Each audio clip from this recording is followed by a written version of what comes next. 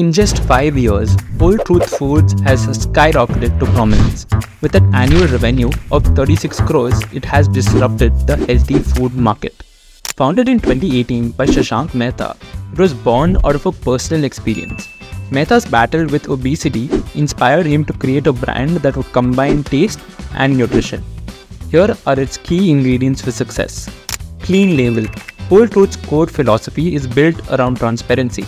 They display all ingredients on their packaging's front, fostering trust. Commitment to purity. The products contain no artificial sweeteners, preservatives, or sugars, opting instead for natural alternatives like dates. Consumer education. The brand tries to educate users about health and fitness without directly promoting their products. This subtlety brings credibility. Niche launch.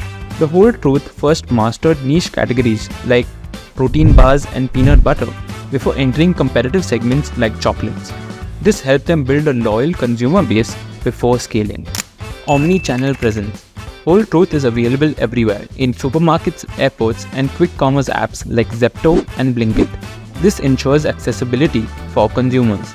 Apart from these strategies, skillful storytelling, ownable imagery, and strategic brand identity conversations all woven together led to the success of this business. The whole truth story is proof that healthy can be delicious and success can be built on trust.